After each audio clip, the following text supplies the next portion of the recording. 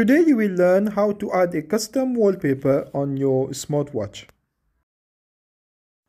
First step, you will need to connect your smartwatch to your phone using the FitPro application. If you haven't done that yet, you can find a video on how to do that at the end of this video. Open the FitPro application on your phone and click on Set.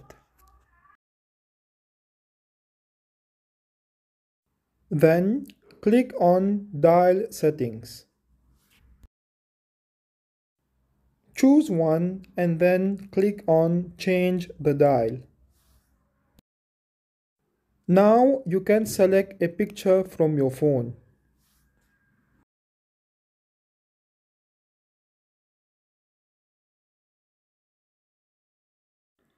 Click on the green button and then wait for the picture to be sent to your smartwatch.